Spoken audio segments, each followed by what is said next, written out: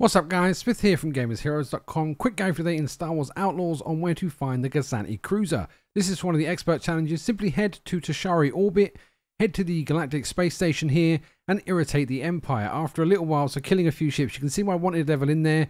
I think that counts as like wanted level 4 or 5. So just come to the area, annoy the space station, shoot a bunch of ships. They will then send an Imperial Gozanti class cruiser at you eventually, and then just take it out. I think it's the second big ship. So there's another little ship that comes in first then you have to kill that one afterwards.